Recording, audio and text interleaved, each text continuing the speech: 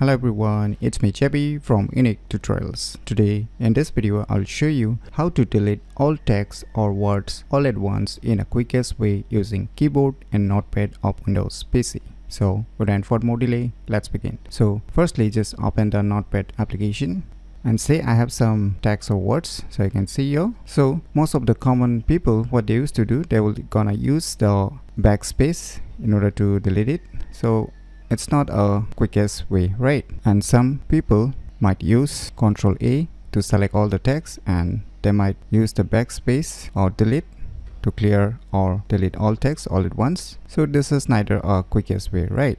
So you might be thinking what is the quickest way? So for the quickest way what you need to do is on your computer keyboard just press alt and backspace. Voila. So you can see here neither we need to select all the text in order to delete it so let me show you it once again. Just press Alt and Backspace. It's not it the quickest way. So this is a cool tricks to delete all text or words all at once in the quickest way using keyboard and notepad of Windows PC very easily. So if you've never known about these cool tricks then you should definitely give it a try. So if you find this video tutorial useful please click on the thumbs like button and if you're new to our channel click on the subscribe button and lastly thanks for watching.